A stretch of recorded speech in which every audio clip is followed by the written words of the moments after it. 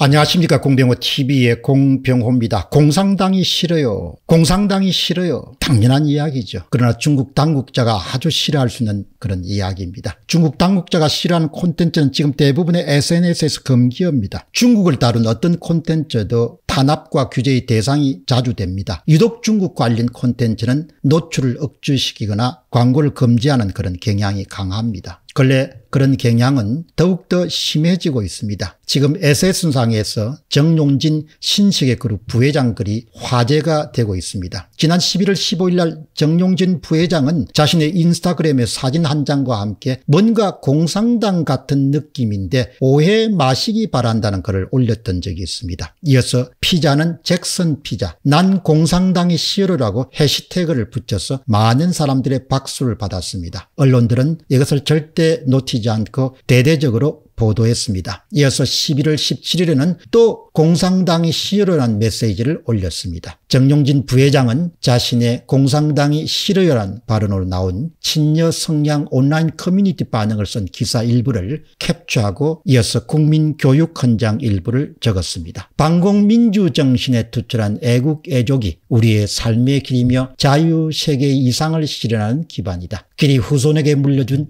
영광된 통일조국의 앞날을 내다보며 신념과 긍지를 지닌 건면한 국민으로서 민족의 설기를 모아서 줄기찬 노력으로 새 역사를 창조하자. 우리 세대는 다 외웠습니다. 너무나 오랜만에 국민교육 헌장을 읽으니까 참 옛날 생각이 납니다. 그리고 정용진 부회장은 이렇게 이야기합니다. 저는 초, 중, 고등학교 때 이렇게 배웠습니다. 덧붙였습니다. 제 논평은 권력을 진 사람들에겐 당신이 어떻게 배웠는가는 별로 중요하지 않다는 겁니다. 권력을 가진 사람들에게는 내 심기를 불편하게 하거나 내 이익에 위해를 가하는 것을 중심으로서 다른 사람들의 행위를 보게 됩니다. 정용진 부회장의 주장에 틀린 것은 아무것도 없습니다. 옳은 겁니다. 1월 5일에는 정용진 부회장은 자신의 인스타그램에 숙취 해소제 사진과 함께 끝까지 살아남을 테다. 멸공 땅땅땅 이렇게 적었습니다. 그러자 인스타그램은 신체적 폭력 및 선동에 관한 인스타그램 커뮤니티 가이드라인을 위반했다는 안내문과 함께 해당 게시문들을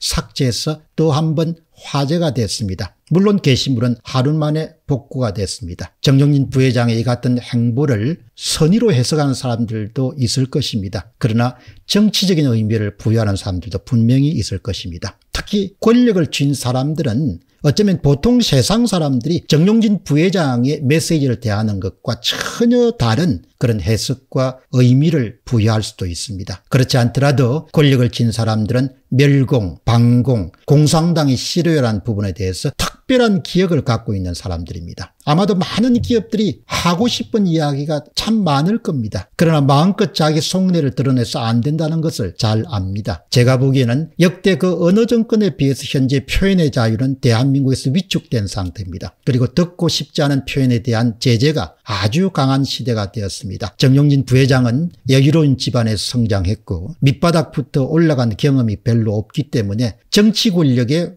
폭압이라든지 강압에 대해서 그렇게 의식하지 않고 구김살 없이 성장해 왔을 것입니다. 그러나 분명히 알아둬야 되는 것은 정치 권력은 기본 속성이 폭력입니다. 강제입니다. 강압입니다. 정치 권력은 기본적으로 낭만이 아닙니다. 상대방을 강제하거나 강압하거나 아니면 폭력을 행사하는 겁니다. 자신들에게 조금이라도 위해를 가할 가능성이 있거나 자신들의 심기를 그냥 불편하게 하는 자거나 아니면 조직이 있다면 그들을 괴롭힐 수 있는 수단은 무궁무진합니다. 그러니까 여기서 중요한 것은 상대방이 어떤 의도를 갖고 있는가는 정치 권력을 가진 사람이 별로 알 바가 없다는 겁니다. 본인들이 어떻게 느끼느냐, 본인들이 어떻게 받아들이냐, 본인들이 어떻게 인식하냐가 중요하다는 겁니다. 기업을 가진 사람들이 자연스럽게 움츠러드는 것은 바로 권력의 속성을 잘 알기 때문입니다. 정용진 부회장의 자유분방한 발언을 보면서 저는 본능적으로 이런 질문을 던집니다. 권력을 쥔 사람들이 그의 은행을 어떻게 받아들일 것인가? 당신이 어떤 의도로 이야기하든 관계없이 권력을 쥔 사람들의 입장에서 한번 생각을 해보자 이야기. 지금은 대선 정국입니다. 지금은